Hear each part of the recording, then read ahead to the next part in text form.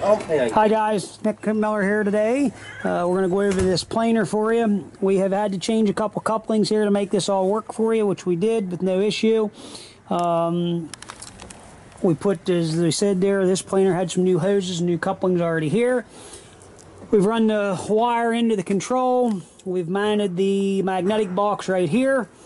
But what we've done, we have it set up.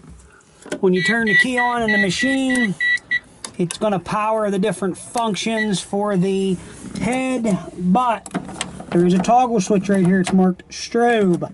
If you flip that to off, it will also kill the power so that you can have your key on so nobody would bump anything.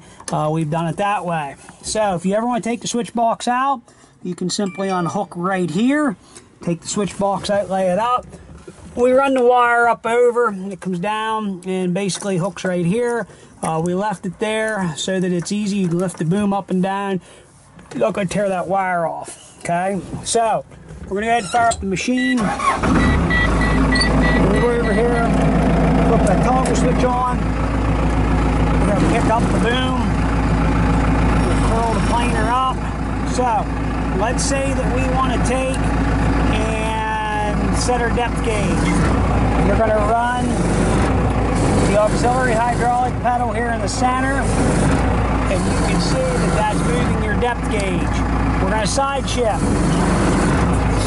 Side shift, left, or I'm sorry, right, left. So we have that all working the way it's supposed to for you. Tilting to the right, tilting to the left, all by tilting the pedal. We even have the hosing plumb correct for you there so that you're not having to go a direction you're not familiar with. Now, we'll shut that off by centering it. We're going to activate the planer head. Right there it is. Simply off of this button. You're going to push it to the right. You see the hoses flex. The head is running. That's off the center. Direction of planing is to the right. So hopefully that is pretty simple for you guys. Um, there again, this pedal is your auxiliary standard flow, which is this circuit right here. So that's going to give you left or right with your different functions of your switch. Center is side shift. This is going to engage the auxiliary high flow to run the mill head.